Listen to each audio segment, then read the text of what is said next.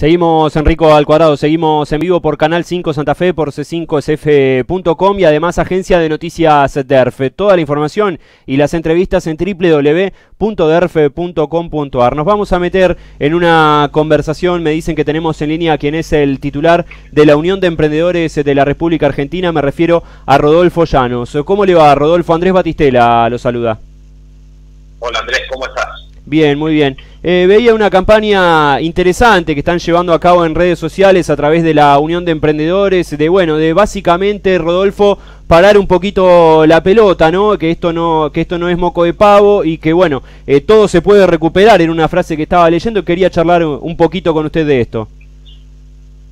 Sí, bueno, estamos en una situación donde hay un grupo de argentinos que eh, dice que parar la economía en este momento es una locura porque el país va a perder un montón de plata. Eh, y nosotros nos pareció oportuno eh, llevar un mensaje a la sociedad donde decimos que es más importante la vida que el dinero, siendo emprendedores, siendo gente que no tenemos estructuras económicas grandes como para poder sostener alquileres, pagos de sueldos, impuestos, compromisos ya tomados venimos diciendo que eh, si hoy el país no provoca un shock total, llamando a una cuarentena eh, concreta y real de dos semanas para cortar la circulación del virus, vamos a tener que lamentar una pandemia con muertes y, y desolación como nunca hemos visto en la República Argentina, porque esto no lo decimos nosotros, lo dice lo que está ocurriendo en Italia, lo que ocurre en España, lo que ocurre en Estados Unidos, este, y en todos aquellos países que relativizaron el impacto, prevaleciendo el, lo económico sobre el valor de la vida, ¿no? Claro. Para usted ya no directamente, digo, hay que decretar la cuarentena a, lo que está sucediendo en España, por ejemplo. Sí, eh, nosotros tenemos un grupo de especialistas eh, científicos que nos, nos están ayudando para, para poder entender. Comprenda que eh, comprender, Andrés, que nosotros no somos eh, ni médicos, ni virólogos, ni nada por el estilo, entonces tuvimos que acudir a, diferentes científicos a preguntarles qué es lo que estaba pasando y todos nos dicen absolutamente lo mismo, esto es como, como la primera aparición del virus, que si usted eh, empieza a notar, día tras día eh, se van sumando 10 casos, porque es más o menos la cantidad de, eh, resultados que vamos obteniendo. Nosotros estimamos en la Argentina que debe haber entre 500 y 1000 contagiados de coronavirus ya. Eh, y eso lo hacemos por en función de que hay un número de 2, 3, 4, 5 muertes y si el resultado es de cada el 1% de los contagiados hay X cantidad de muertes, eh, nos hace pensar que debe haber 500 personas portadoras. Si no se frena la actividad, va a pasar lo que pasó en España, que bueno, lo tomaron tarde, pensaron que, no iba a suceder. Nosotros estamos recién en otoño, todavía el frío no llegó a la Argentina. Cuando comience el frío y cuando comience el virus a, ganar velocidad, eh, va a ser indetenible. Y cuando digo indetenible, digo indetenible hasta que llegue la primavera. O sea, vamos a tener una situación de, de país arrasado durante cuatro meses en la República Argentina. Claro. Estamos a tiempo, Rodolfo, de, contener esta situación. Ya detener es imposible, ¿no? Pero contener al menos. Si decretamos una cuarentena total por dos semanas para ver un poco si con esa bajada de circulación del virus se detiene la cantidad de casos que empiezan a surgir. Segundo, eh, nos permitiría eh, tomar mayores precauciones, eh, no solo para para contrarrestar el virus, sino prepararnos para en el caso que no se logre eh, contrarrestar, estar listos durante eh, el mes de mayo para todo lo que va a venir después.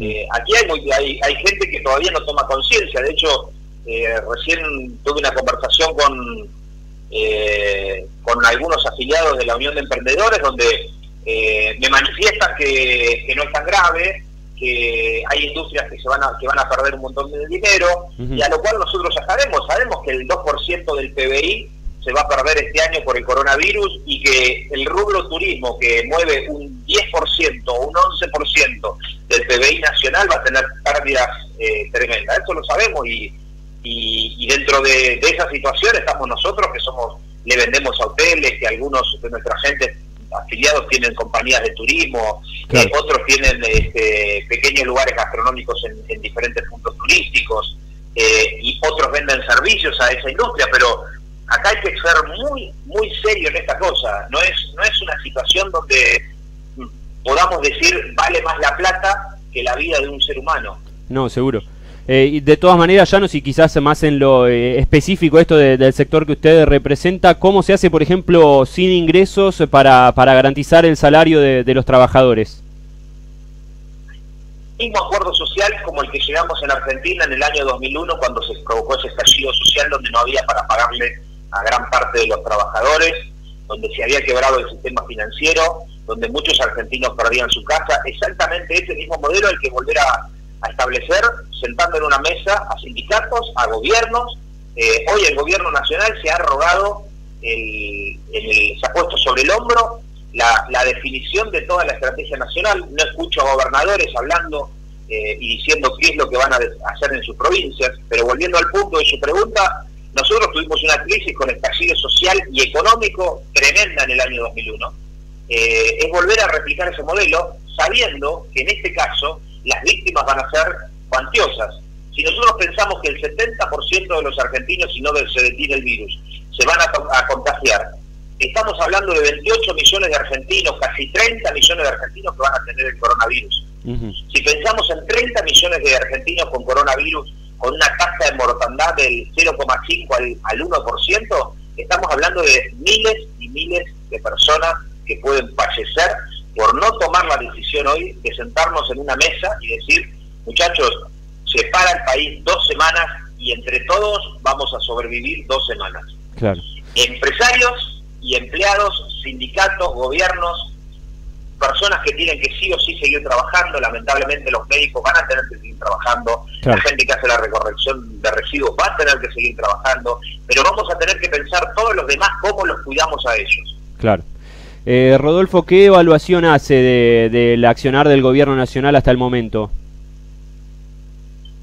Eh, el gobierno tiene una situación de ambigüedad, lo ha, tomado medidas serias, eh, pero todavía no se anima a asumir el liderazgo radical que debe asumir. Lo siento como que tienen mucho miedo del costo político que implicaría parar el país por dos semanas eh, y me parece que estamos tomando todavía, en ese sentido, ha sido mucho más audaz Rodríguez Larreta en la ciudad de Buenos Aires, que está eh, interrumpiendo un montón de cosas, medio de transporte inclusive. Me parece que el gobierno acá tiene que tomar una decisión que es el gobierno de oposición que lo debe acompañar, por supuesto. el liderazgo político debe ser frenar el país durante, durante dos semanas para evitar que el virus se siga propagando. Hasta el día de hoy veo que las medidas que se han tomado eh, van en ese sentido, pero falta ir a fondo. Eh, y no quiero que vayamos a fondo cuando tengamos mil, dos mil personas ya enfermas del, virus, porque ya, bueno, va a ser casi, casi tremendo. Claro. Llanos, le agradecemos por este contacto, ¿eh? la seguimos en cualquier momento. Gracias por la oportunidad. Chao, chao, un abrazo. ¿eh? Rodolfo Llanos es el titular de la Unión de Emprendedores de la República Argentina. La nota se